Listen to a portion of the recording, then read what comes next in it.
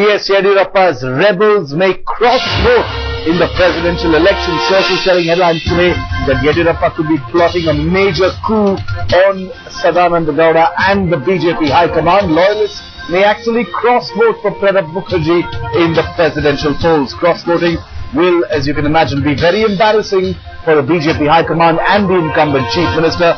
Yediyurappa loyalists are strategizing at a meeting at Jagdish Shettar's residence even as we speak.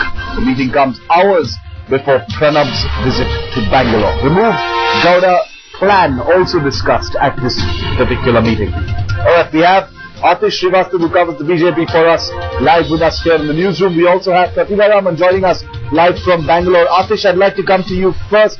The standoff continues. Uh, Atish, uh, doesn't seem to be backing down and now there's this meeting that's going on to replace Sadananda Gowda. What are you hearing from your sources in the High Command? Well, Shiv, uh, Yediyurappa is adamant that they want leadership change. Their camp really wants leadership change. The proposal which has been put forward by the camp of Yediyurappa is that make Jagdish Shettar the Chief Minister, make Ishwarappa Deputy Chief Minister and make Sadananda Gowda as the party president of the Karnataka unit. But whether National Party or Party Chief in Delhi will accept that or not because what we got to know through our sources that they are now contemplating a leadership change. Till day before yesterday, they had no plans of leadership change, but they realized that now Yediyurappa has stepped onto the pressure, and this time there are nine ministers who resign, and there is a strong threat of losing the government in Karnataka, so they want to save. But they've, they've been division in the uh, central party as well. There are certain leaders who do not want Yediyurappa to be reinstated or to this uh, party to succumb under any pressure because their entire uh, momentum against corruption will go haywire. And they don't want to do that. They realize that Yediyurappa is a strong Lingayat mass leader. Let's have some other way to support uh, his uh, needs. But why unnecessarily change the leadership and get into more trouble? Because we have been fighting throughout the country, be it any cabinet minister Yeah. or other chief ministers of Congress, let's say, we have been saying that we don't want a corrupt leader to be there. And then why accommodate Yediyurappa? This will be hugely embarrassing for party, but they are still considering because they know that they need to save the first government of South India. They are going in for election next year, May. Until that time, they need to save the government. That is the priority, number one priority of uh, the BJP party. But the leaders like L.K. Advani are of view that there should be no scope of accommodating Yediyurappa.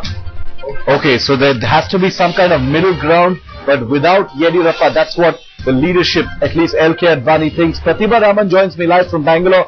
Pratibha, hectic meetings and confabulations are on. Uh, it is to our understanding at Jagdish Shettar's house. Uh, where are things going from here, Pratibha? What are the indications you're getting? Well, as of now, they're trying to strategize and find out what kind of pressure tactics that they could use uh, at the BJP High Command to have their demands met.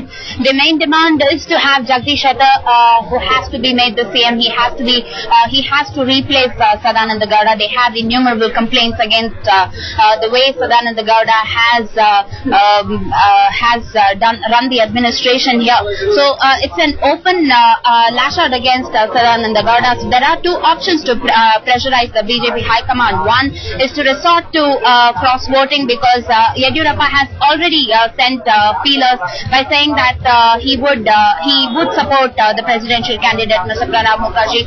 And today, being the day when Pranab Mukherjee is visiting Bangalore, this could perhaps be a move that the Yediyurappa camp would take today. And option two would be to have some of the MPs of BJP also resort to quitting at Delhi. Perhaps that would increase pressure. Uh, these are the two options that they could probably be uh, thinking and strategizing on to have their demands met because they are not uh, uh, willing to have any kind of middle ground. So this puts uh, the BJP High Command in a very uh, precarious situation. They can't do away with Yediyurappa. They can't do away with Sadananda Gowda. So we'll have to wait and see what the BJP High Command will do to appease both ends of the party. Well, it's really, really looking difficult at this stage, but we'll have to see how things go. Obviously, hectic discussions are happening both within Bangalore and also between Bangalore and Delhi. Sadananda Gowda are also expected to be in Delhi shortly for discussions with the High Command. Atish and Pratibha, we'll leave it there for the moment. Thanks for getting us.